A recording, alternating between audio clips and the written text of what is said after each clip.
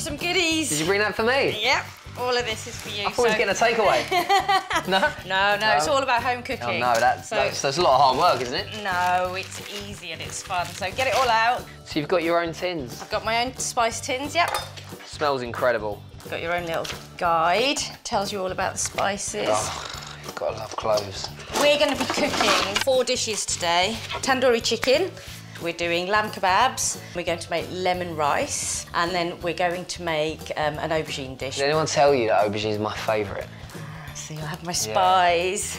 We're going to start on our marinade. I know that you like to cook. Where did that passion Uh, come from? Do you know what? As a as a dad, really, being the the one who's responsible for what they eat, and you know the fact that I eat quite healthy, I have to find ways of making healthy food attractive to them. And bless them, they don't like to, to hurt my feelings. um, but the other day, I could tell by the amount that they didn't eat that the pea and broad bean fritters didn't really go down Oh, so well. I said, boys, it's like pancakes. But, but it's got peas and broad beans in and a bit of mint. it's green, Dad. That's not a pancake. Ah, they just, they didn't fall in love with it. uh-huh. Just knowing what got, goes with what. Like, I could never just freestyle it for fear of absolutely messing up whatever it is I'm trying to do. I think it's about confidence and about just trying things and seeing how they work. So garam masala is a combination of about nine different spices. Right. It's a, not the iconic spice blend of the north of India. So if you start to stir all of that up, so I know that you are really focusing on your coaching. What is it about coaching that, that drives you or motivates you? Uh, I'm inspired every time I coach someone and I see how much they've improved since they, they last came. Yeah. Or from even the, the minute they sit down and you see that they're sort of so full of anxiety or worry or whatever it is that they're sort of burdened with. And then at the end of it, even after just one hour, they, they just look like a different person. They're like, all of a sudden, they realise that there's options and, and that there is kind of light at the end of the tunnel. So is cooking something that you do as a family? Do you get Yeah, the boys boys involved and all as much as possible. The boys, the boys do help. I have one that um, helps out a lot, loves helping, loves getting involved, and one that only gets involved at a push. You know. Yes, I have one of those and one of those. My daughter is loves getting involved and helping, and my son just couldn't give a monkey's. Was it one or two? Um, do two, yeah. Just give them a bit of a crush. I've got a bit of a food addiction. It's not proper food either. What's that? But again, you might have some suggestions, um, like peanut butter. we all have these little things that we like. Our vices. enjoy. Is there, is there, are there any dishes, Indian dishes, that use peanut butter? Mm, not so much peanut butter. We tend to use a lot of peanuts. Do you? Um, we're going to be using peanuts in the rice that we're doing today. What oil is that? This is just normal rapeseed oil I'm using here. Just rub it into your hands and you just take a piece of meat and then you just make them into kebab shapes. Two, four, six, eight, ten, twelve. Yeah, I would have got 24 out of this. Really?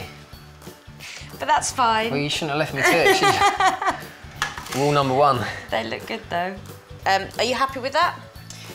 Uh, yeah. Really yeah, easy. I'm happy with that. What about you? I think it looks great. But in terms of putting it together, difficult, easy? No, come on, it's really, easy. simple, yeah, isn't just- it? Yeah.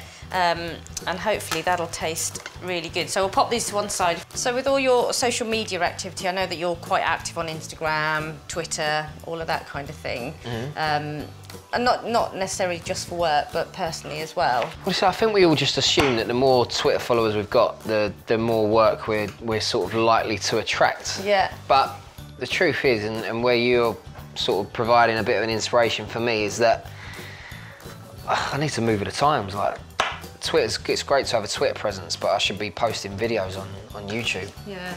You know, that's that's really where it's at at the moment. I know that because sometimes my kids come in and they don't put the telly on, they put YouTube on. YouTube on it. So how do you engage with your Twitter followers? Say like, for example, recently what I've done that was really effective was that I wanted to have a discussion about anxiety with my following. And, you know, so, so many people were getting involved. it was so constructive and there were so many people that were answering other people's questions. And yeah. that, that, for me, is what I love Twitter for. Yeah. There you go. And just grab a fork and take a little... Have a little taste. What do you think? I could eat that all day Really? and night. It's quite nice. It's quite gentle, isn't it? Mm.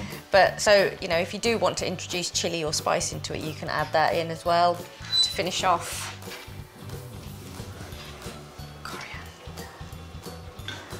You all right? Thank you very much. Thank you. Perfect timing.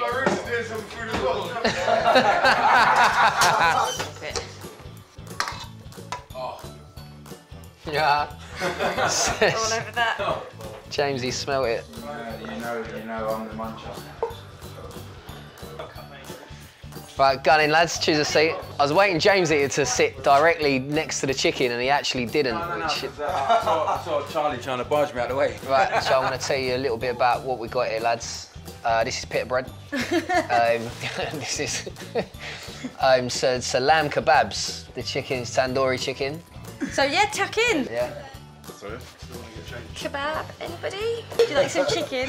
Yeah, bring me a good truck, bring me a good For more foodie fun, make sure you follow me on Twitter, like me on Facebook, and subscribe to my YouTube channel.